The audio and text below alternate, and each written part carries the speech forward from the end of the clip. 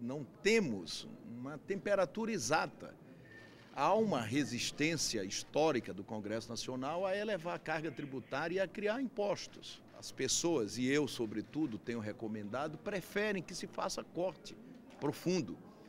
É, do ponto de vista do Congresso, nós temos a obrigação de debater tudo que para que vem e a elevação de carga tributária, ela terá que ser uma consequência do corte, do ajuste.